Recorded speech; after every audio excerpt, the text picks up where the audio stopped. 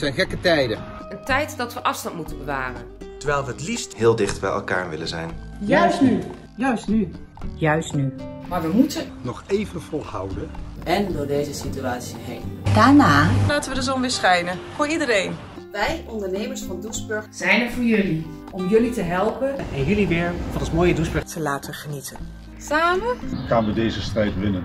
Samen. Samen. Samen. Samen. Samen. Koop daarom juist nu lokaal en helpen elkaar zoveel mogelijk. Juist nu. Juist nu. Juist nu. Juist nu. Juist nu. Juist nu. Juist nu.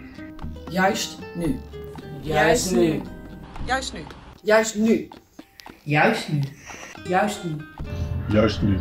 Juist nu.